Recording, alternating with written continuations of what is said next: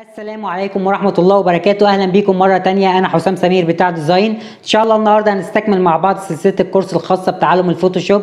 دي تاني حلقة معانا النهاردة في الدورة ديت واللي من خلالها هنتعرف مع بعض على نظم الألوان المختلفة. كمان هنتعرف على صيغ الصور الشهيرة اللي إحنا هنتعامل بيها أو هنتعامل معاها في خلال الدورة ديت. بالتالي ده درس النهاردة ويلا بينا.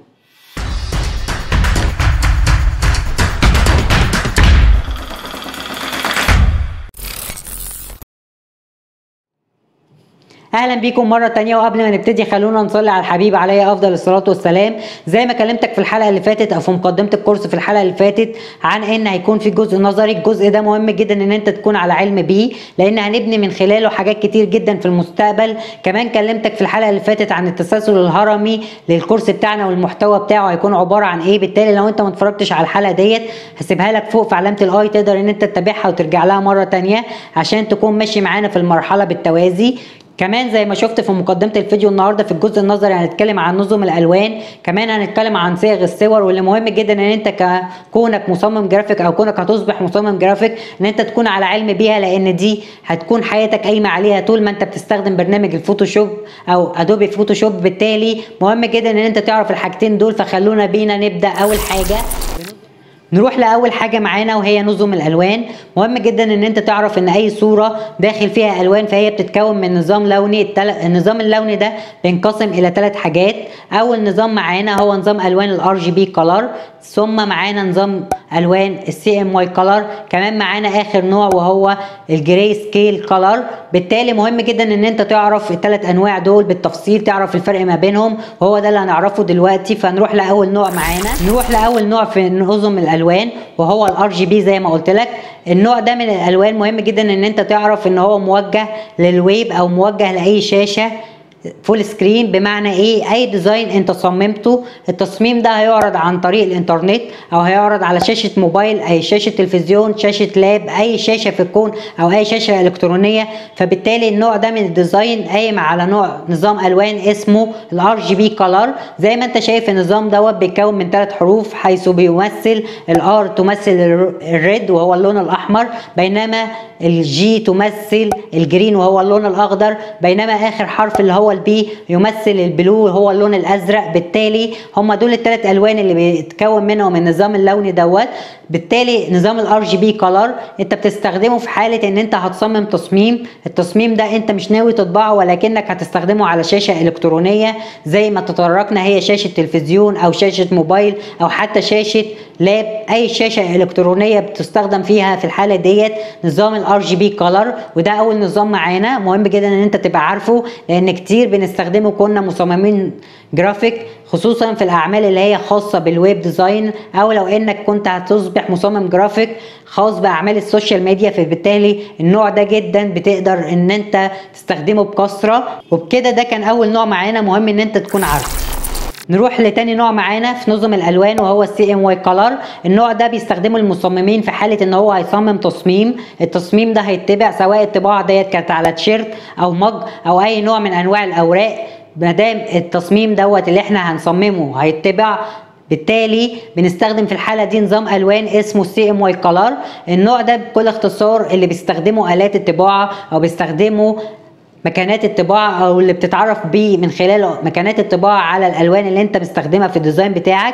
بالتالي إيه الفرق الجوهري ما بينه وما بين نظام ال RGB color ال CMY color زي ما قلت لك هو بيستخدم للطباعة وبيستخدم في أعمال التصاميم اللي هي هتطبع بينما ال RGB color بيستخدم للتصاميم اللي هي هتعرض على ويب أو شاشة كمبيوتر. كمان في فرق جوهري مهم جدا إن أنت تعرفه إن ال RGB color الألوان بتاعته بيبقى فيها حيوية أو بيكون فيها طاقة بينما الألوان اللي هي بتاعة ال CMY color زاهدة شوية أو الألوان بتاعتها الطاقة بتاعتها قليلة شوية بالتالي لو انت عامل تصميم التصميم ده للطباعة ولكنك مستخدم ال RGB color وما اخترتش نظام الألوان السليم اللي هو CMY color في الحالة ديت بعد الطباعة بتلاحظ إن انت كنت شايف الألوان حاجة على الكمبيوتر ألوانها جميلة وكل حاجة جميلة ولكن بعد الطباعة أصبح التصميم رديء والألوان مختلفة ده لأنك اخترت من البداية نوع نظام ألوان خطأ أو نوع نظام ألوان مختلف تماما عن نظام الألوان اللي هو مفترض إن انت تتبعه وهو في الحالة الحاله دي ال CMY color فبالتالي مهم جدا إن أنت تبقى عارف إن نظام الألوان اللي هو ال CMY color هو موجه للناس اللي هي هتصمم تصميم. التصميم ده من شأنه إن هو يتطبع عن طريق مكانات الطباعة. ففي الحالة دي لازم إن أنت تبقى عارف النظام دوت عشان هو ده اللي هيكون قايم عليه التصميم بتاعك وما تختارش غلط أو تقع في الخطأ.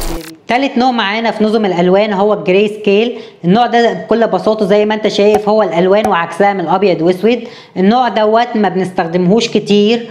آه نادر ما بنستخدمه ولكنه ليه استخدام. الاستخدام ده هو بكل بساطة إن أنت لو عندك لوجو أو شعار أو عندك عميل عنده لوجو أو شعار اللوجو دوت العميل حابب إن هو يطبعه أبيض وأسود ولكنه عايز يحتفظ بالتفاصيل بتاعته. يعني اللوجو ما يكونش سايح على بعضه بيحتفظ بالخواص بتاعته. بالتالي بنضطر في الحالة ديت إن إحنا نستخدم نظام ألوان اسمه ال grayscale. النظام دوت بكل بساطة زي ما قلت لك هو الألوان وعكسها من الأبيض وأسود بحيث إن اللوجو يطلع هو أبيض وأسود ولكنه محتفظ بالتفاصيل بتاعته.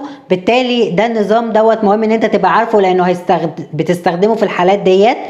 وده نوع شائع جدا للاستخدام ولكنه ليه استخدام زي ما قلت لك. وبكده إحنا خلصنا نظم الألوان واللي من خلالها إن إحنا عرفنا الثلاث أنواع الشهيرة اللي إحنا بنستخدمها بكثرة داخل برنامج الأدوبي فوتوشوب. كأنا مصممين جرافيك واللي مهم جدا إن أنت تبقى عارفهم وعارف الفرق ما بينهم زي ما شفت إن كل واحد ما بينهم ليه استخدام كل ما واحد منهم تقدر من خلاله إن أنت تبني التصميم بتاعك بشكل سليم لأن البداية دايما بتفرق. لو أنت بادئ صح هتفضل دايما صح فبالتالي كان لازم إن أنت تبقى عارف الثلاث نظم ألوان دول وعارف إيه الفرق ما بينهم.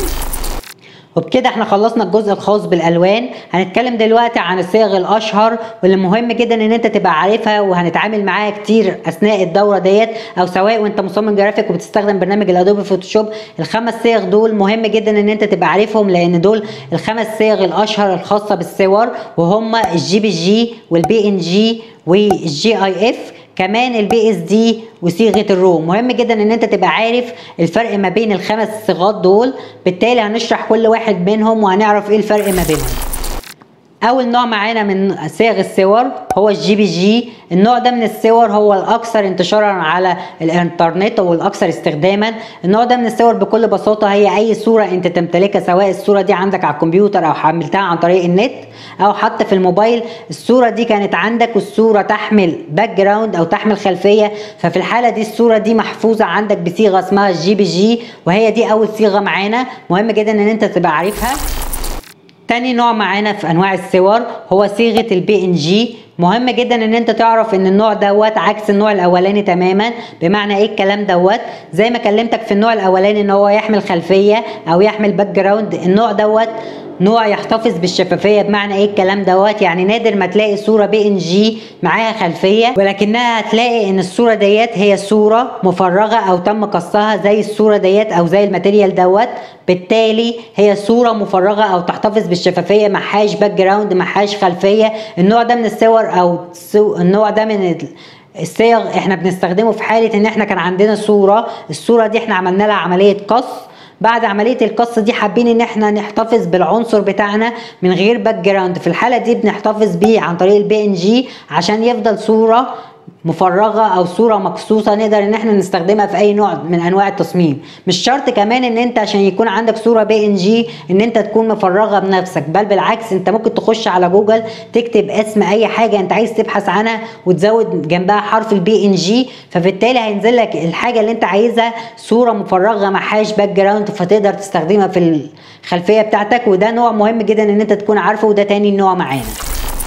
تالت نوع معانا أو تالت صيغة معانا في أنواع الصور هي صيغة GIF. مهم جدا إن أنت كمصمم جرافيك إنك تكون عارف النوع ده من الصور لأن النوع ده بيستخدم بكثرة على منصة التواصل الاجتماعي إنستجرام لأن النوع ده هو الصور المتحركة واللي كتير بيستخدم في عمليات ال digital marketing أو عمليات التسويق الإلكتروني. بالتالي النوع ده هو عبارة عن أي صورة متحركة أو أي تصميم أنت صممته فيه حركة عايز تحفظه ويفضل محتفظ محتفظ بالخواص الحركة بتاعته أو خواص التأثيرية اللي هي فيها حركة بالتالي بتضطر إن أنت في الحالة ديت عشان تحتفظ بالخواص الخاصة بالحركة أو تحتفظ بالخواص الخاصة بتأثير الحركة إن أنت تحفظ النوع ده من الصور بصيغة اسمها GIF عشان تفضل محتفظة بخواص الحركة بتاعتها. وده تالت نوع معانا.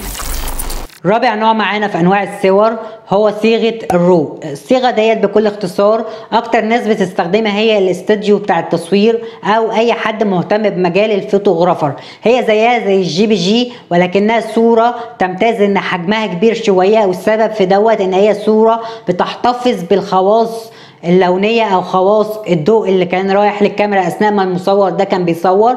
بالتالي هي صورة حجمها كبير تحتفظ بالخواص بتاعتها وأكتر من يستخدم الصيغة ديت زي ما قلت لك هو استوديو تصوير أو حد مهتم بمجال ال photographer لأنها صورة تقدر من خلالها إن أنت تشكلها أو تعمل عملية editing لأي تأثير فيها.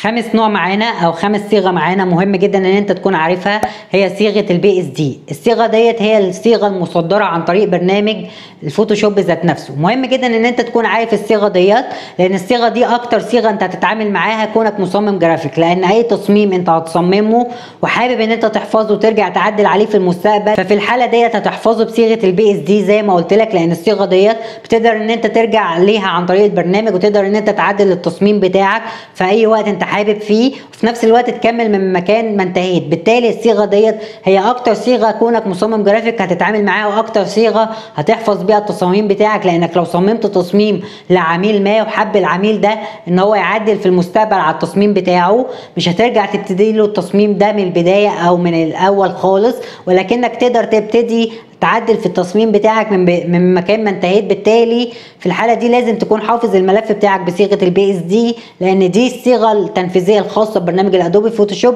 واللي في نفس الوقت من خلالها هتأهلك إن أنت تقدر تعدل على التصميم بتاعك من مكان ما انتهيت. ودي صيغة مهم جدا إن أنت تكون عارفها. وبكده إحنا خلصنا الجزء ده من الكورس. هو جزء خفيف ولكنه جزء مهم جدا ويحمل معلومات كتير مهم إن أنت تبقى عارفها قبل ما نخوض في الجزء العملي زي ما قلت لك لأن الجزء ده هيبني عليه حاجات كتير في المستقبل مش ممكن ابدا أو ما ينفعش إن إحنا نبتدي على البرنامج بشكل عملي وأنت مش عارف إيه نظام الألوان إيه النظام اللي أنت تستخدمه ساعة الطباعة وإيه النظام اللي أنت تستخدمه ساعة ما أنت تكون هتصمم تصميم لل social media أو للويب بالمعنى أصح. بالتالي كان لازم إن أنت تبقى عارف التفاصيل ديت. كمان مش ممكن إن إحنا نخوض في الجزء العملي وانت مش عارف أنواع الصيغ المختلفة للصور أو صيغات الحفظ المختلفة للصور. بالتالي كان لازم إن أنت تبقى عارف المعلومة ديت عشان لما نيجي للجزء العملي تقدر إن أنت تطبق معايا وفي نفس الوقت يكون عندك القاعدة السليمة اللي هننطلق من خلالها في الدورة ديت. كمان ما تنساش إن أنت تشترك في group الفيسبوك اللي سايبهولك تحت في وصف الفيديو لأن زي ما كلمتك عنه في الحلقة اللي فاتت ال group ده مهم جدا عشان يحصل عملية rotation للمعلومات ما بيني وما بينك أو تبادل المعلومات بيني وبينك بحيث إن أنا أقدر أساعدك لو واجهتك أي مشكلة أثناء التطبيق العملي. كمان إن أنا أقدر أشوف التصاميم بتاعتك والتطبيقات في ال task ات الجاية في الشغل العملي بتاعنا وأقدر إن أنا أقول لك أخطائك إيه وأقدر أقومك في حالة كان عندك خطأ ما. فبالتالي مهم جدا إن أنت تشترك في ال group دوت سايبهولك تحت في وصف الفيديو. أخيرا ما تنساش إن أنت تدعم الفيديو ده ب like عشان يوصل لكل إنسان حابب إن هو يتعلم الجرافيك زيك ويوصل لأكبر عدد من الناس. كمان ما تنساش إن أنت تشترك في القناة وتفعل زر الجرس. كان معاك حسام سمير. أنا بتاع design والسلام أمان.